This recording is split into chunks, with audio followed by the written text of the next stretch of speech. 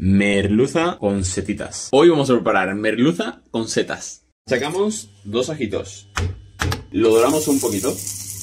Echamos unas setitas. Cortamos tres tomates en daditos.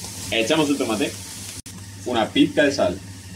Ponemos un lomito de merluza. Tomate frito.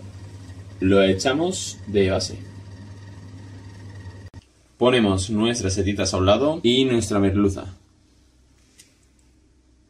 Unas escamitas de pimentón dulce.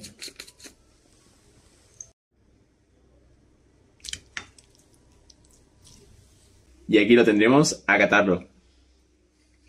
Mmm, muy bueno.